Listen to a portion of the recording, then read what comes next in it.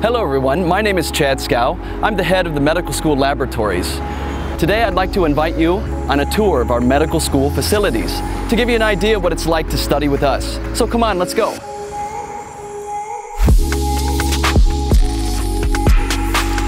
This is our spacious anatomy lab. Here the students learn anatomy in small groups as they rotate up and down these stations. Students receive station guides in advance that relate to specific learning objectives that are related to the weekly coursework. At each station, the students find cadavers, high quality plastic models, anatomy atlases, imaging, and of course, an anatomy demonstrator, someone who can connect the clinical relevance with the anatomical structure. We use cadavers to teach anatomy at the medical school because we feel this is value added for our medical students, especially those who wish to undertake a surgical career path. This is our histology lab where the students learn histology and histopathology. Again, the practical sessions are done in small groups where the students use the microscopes to study histological structures. The instructor has a camera attached to the microscope where he can project images of histological structures onto the screen while the students follow along during the tutorials. This is our clinical skills lab. Here students learn how to examine patients. First we use the best plastic models and mannequins to introduce clinical examinations. Later we bring in actors as simulated patients in order to develop their bedside manner. Students continue their clinical education at the teaching hospitals. We have 18 cubicles in total, where we emphasize in small group teaching. There's five to six students per cubicle and a tutor.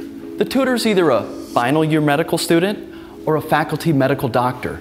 Students also have clinical communication skills, where they learn how to gather and give information to patients and colleagues. This is one of our many problem-based learning rooms, short for PBL. Let's go inside and have a look.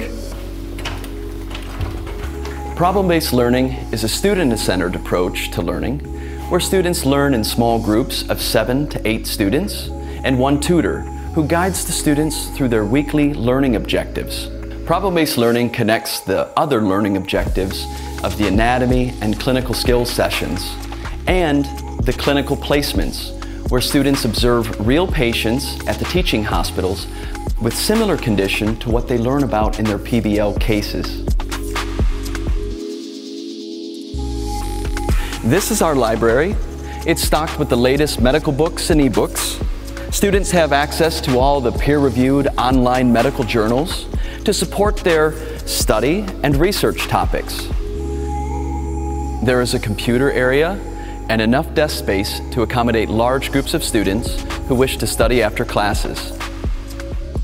The Mobile Clinic Expedition Program is a wonderful opportunity for the students to practice their skills on the road. For example, the Mobile Clinic travels around Cyprus and the students can screen for diabetes, asthma, high blood pressure, and specialized exams like electrocardiograms, ECGs. It's a wonderful opportunity for the doctors of tomorrow to connect with the community. I hope you enjoyed our tour today. I look forward to welcoming you on campus in person.